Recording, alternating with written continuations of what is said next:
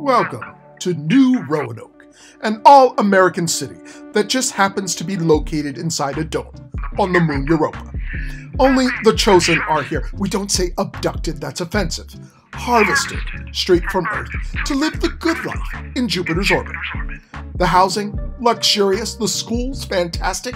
Crime, virtually non existent. There's none of that pandemic mess. No war, no nukes, no melting ice caps. This is the place where the American dream is still alive. You just have to play by the rules.